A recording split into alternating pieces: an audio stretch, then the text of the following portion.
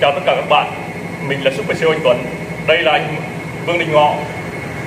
Hôm nay mình và anh Ngọ xin chia sẻ cho các bạn Tại sao chúng ta lại cần phải dành thời gian để rèn luyện thể dục thể thao. Các bạn biết đấy là chúng ta có rất nhiều lý do để ở nhà. Chẳng hạn như là buổi chiều đi làm về cảm thấy mệt, không muốn đi tập nữa. Rồi buổi chiều có những cuộc nhậu nhẹt, hẹn hò bạn bè rồi có rất nhiều lý do khác, chẳng hạn như là trời lạnh chẳng hạn. Chúng ta không đi tập thể dục thể thao, chỉ đơn giản là vì những lý do rất nhẹ. Nhưng mà điều quan trọng mà mình muốn chia sẻ cho các bạn, đó chính là chúng ta cần phải tìm một lý do đủ lớn để dành thời gian luyện tập thể dục thể thao mỗi ngày. Các bạn biết đấy, có một cái câu nói mà các bạn trẻ hay nói, đó chính là phong độ là nhất thời, đẳng cấp là mãi mãi tuy nhiên, mình cho rằng cái câu nói đó không đúng. Theo mình ấy phong độ là nhất thời nhưng đẳng cấp là sự duy trì. Không quan trọng bạn tập mỗi ngày 2 hay 3 tiếng nhưng quan trọng ấy là bạn phải duy trì thói quen tốt rèn luyện thể dục thể thao dành thời gian tập gym chạy bộ đạp xe đi bơi. À, anh ngọ có chia sẻ gì không? À, các bạn ạ gym là thay đổi à, bản thân mình rất là nhiều cách đây ờ, 3 năm mình về 2020 mình về ờ, Nghệ An thì mình rất là ít bạn. Nhưng mà qua cái sự luyện tập uh, gym thì mình kết kết kết kết được rất là nhiều bạn quen biết được nhiều người. Và những cái người ở đến cái phòng gym đều là những người mà công việc ổn định và rất quan tâm sức khỏe tính kỷ luật cao thì là người ta mới đến tập gym. Như thế tập gym thì cho các bạn tập gym để quen biết được nhiều người. Thứ hai nữa là các bạn mình cảm giác là mình yêu thương bản thân mình nhiều hơn. Tiếp để yêu thương được mọi người là mình phải yêu thương bản thân mình thông qua cái việc ờ, rèn luyện sức khỏe đấy là tập gym. Thì ờ, cái bạn khỏe hơn đẹp hơn nhiều năng lượng hơn thì mình tự nhiên mọi người nhìn thấy, thấy bạn cũng khác mà bạn cảm giác mang một, một cái sức sống đến cho, cho, cho được ờ, nhiều người. Các bạn biết đấy như anh gọi chia sẻ là đến đây là được quen những cái bạn mà chăm chỉ tập thể dục thể thao chăm chỉ tập gym nếu như bạn mà chơi với những người hay nhậu ấy, thì chắc chắn buổi chiều bạn sẽ có được nhiều cuộc gọi đi nhậu. Và nếu như bạn chơi với những người hay tập gym ấy, chắc chắn là bạn sẽ yêu thương bản thân mình nhiều hơn biết chăm sóc sức khỏe nhiều hơn. Thậm chí á, tập gym á, đôi lúc chúng ta cảm thấy rất mệt mỏi đúng không? Ví dụ chạy bộ chẳng hạn. Chạy bộ bây giờ chạy đầu tiên là 500 mét dành cho những người mới tập là cảm thấy rất khó. Tập một thời gian lại cảm thấy một km là khó hơn rồi 2 km dần dần ấy chúng ta sẽ vượt qua được những ngưỡng giới hạn của bản thân. Và sau khi tập luyện về các bạn tắm rửa nghỉ ngơi ăn tối một cách rất thoải mái. Đúng rồi.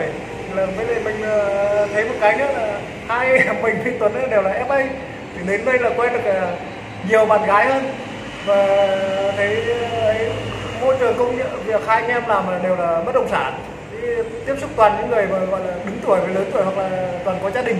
Đến đây gặp nhiều nhiều bạn ờ, ấy ờ, nhiều, nhiều mối quan hệ nhiều ờ, đấy, có cơ hội tìm được người yêu của mình bạn nên là các bạn thanh niên là cứ phải ra khỏi khỏi nhà đến phòng gym hoặc là ra ra đi chạy bộ phải rèn luyện thể dục thể thao.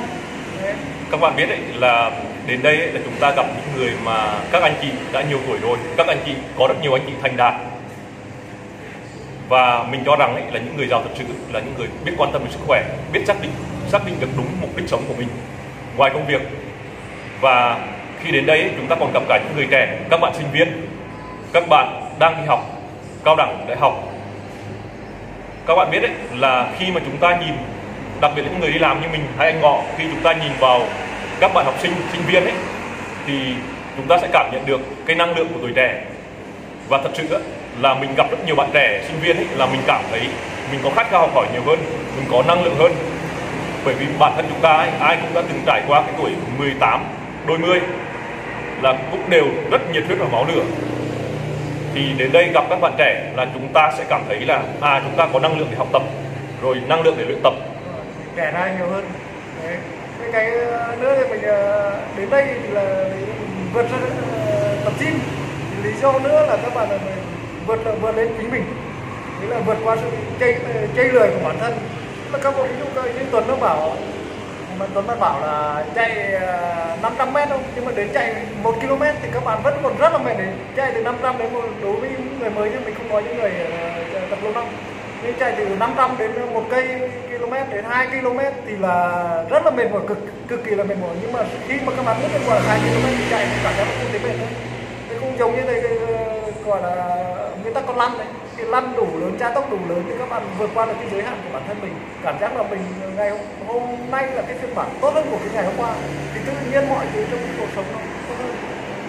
Cảm giác nói chung là chúng ta sẽ đẩy bản thân mình vượt qua những giới hạn đẩy cơ bắp của mình vượt qua những giới hạn thông thường thì chúng ta sẽ tốt hơn. Và thật sự mình cảm thấy nhé đi tập mặc dù là cơ bắp gọi là có thể là đau nhức hoặc là gì đó nhưng mà sau khi tập ấy là cảm giác rất thoải mái rất khỏe khoắn. Thật sự là rất thoải mái rất khỏe khoắn. Và và những cái á, những cái ví dụ như đến đây là chúng ta bỏ hết công việc. Tức là chúng ta sẽ không dùng cái đầu quá nhiều nữa mà chúng ta sẽ tập trung vào body nhiều hơn. Và mình thấy thích một cái câu nói rất hay ấy, là khi chúng ta có sức khỏe chúng ta có ngàn mơ ước. Nhưng mà khi chúng ta mất đi sức khỏe rồi ấy, thì chúng ta chỉ có mỗi một mơ ước chính là sức khỏe. Cái cuộc sống của mình cái cuộc còn nói mà cuộc sống tinh thần và vật chất.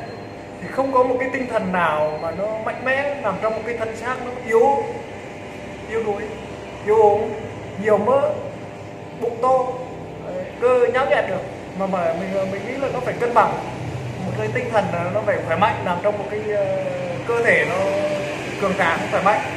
Thì nói chung là anh em mình là thanh niên, phải cố gắng một tuần là phải dành đến khoảng à, ít nhất phải vài ba buổi đến phòng gym, hoặc là không cho không phòng gym thì cũng phải đến chơi cái môn thể dục thể thao ở đấy, như bóng chuyền, bóng rổ, đánh à, đánh chơi game. Ít chơi game đôi lúc ạ, mình cảm thấy nhé ví dụ như mình mình nhìn lại mình cách đây khoảng một năm chẳng hạn. Cách đây một năm mình béo bây giờ khoảng 6 7 kg. Và thật sự là bây giờ mình thấy là mình cách đây khoảng một năm, rất tệ. Bản thân gọi là body cực kỳ tệ ví dụ như bụng to bây giờ nhiều. Và thật sự là mình cho rằng ấy là những người mà thật sự đáng nể ấy là những người mà kỷ luật bản thân. Bởi vì mình cho rằng ấy, là những người kỷ luật là những người thật sự tự do. Đừng có đừng nói kỷ luật không tự do. Thực sự những người kỷ luật là những người sống tự do. Anh có đồng ý không? Mình đồng ý. Kỷ luật là tự do mà. Ok xin cảm ơn các bạn đã theo dõi video của mình và anh Vương Đình Ngọ à, mọi người cảm thấy hay thì ờ, like và chia sẻ ý kiến của mình nhé. Xin cảm ơn các bạn đã theo dõi video này. Còn vì là doanh nhân Việt thành đạt.